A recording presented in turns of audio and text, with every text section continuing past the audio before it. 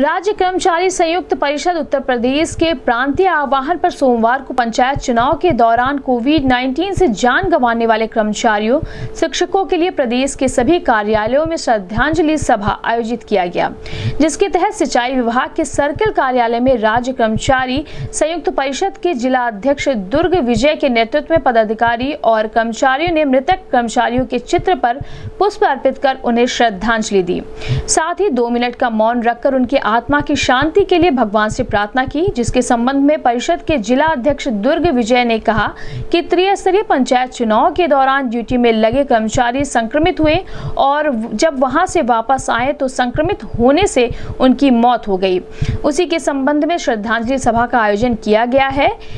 उन्होंने कहा कि हमारी प्रदेश सरकार से मांग है कि चुनाव ड्यूटी के दौरान संक्रमित होने से जिन कर्मचारियों की मौत हुई है, उनके परिवार के एक सदस्य को नौकरी और 50 लाख रुपए दिए जाएँ। इस अवसर पर अधिकारी और कर्मचारी मौजूद रहे इस संबंध में गोरखपुर न्यूज़ से बात करते हुए राज्य कर्मचारी संयुक्त परिषद के जिला अध्यक्ष दुर्ग विजय ने कहा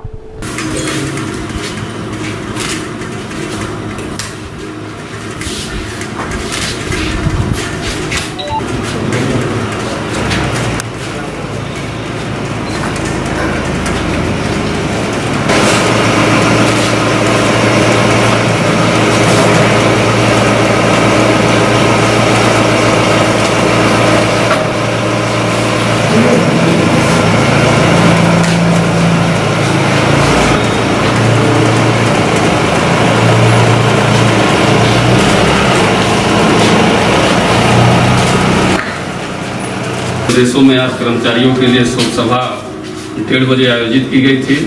उसी के क्रम में आज गोरखपुर जनपद में राज्य कर्मचारी संयुक्त परिषद के नेतृत्व में जनपद के सभी विभागों में कार्यक्रम चलाया जा रहा है। इसके क्रम में आज हम लोग सभी पदाधिकारी और हमारे अधिकारी यहाँ पर उपस्थित हैं। दो मिनट का आप सभी लोग मौन धारण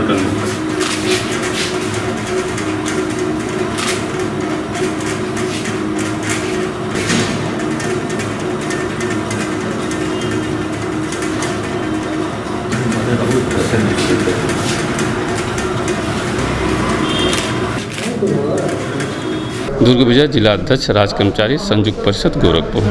आज इफ्सेस के आह्वान पर पूरे भारत के कर्मचारी, जो कोरोना काल में जिनकी मृत्यु हो गई है, उसी के तहत आज डेढ़ बजे पूरे 31 मई दिन सोमवार को एक कार्यक्रम आयोजित किया जा रहा है। श्रद्धांजलि सभा अर्पित की जा रही है। हमारे तमाम साथी कोरोना से जब पंचायत चुनाव से लौट के आ गए, उसमें कोरोना के शिकार हो गए, जिन्होंने अपना ज़िंदगी और पूरा परिवार छोड़ करके चले गए।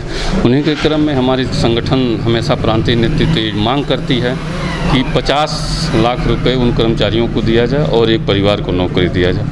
इसी के तत्वाधान में आज श्रद्धांजलि सभा सबको अर्पित की गई थी। उसी के क्रम में राज्य कर्मचारी संयुक्त परिषद के नेतृत्व में जनपद गोरखपुर में सिंचाई विभाग के कार्यालय नलकूप प्रांगण में किया जा रहा है। और हमारी ये सरकार से मांग है कि कम से कम 50 लाख रुपए एक परिवार को और एक नौकरी तत्काल मुहैया कराई जाए।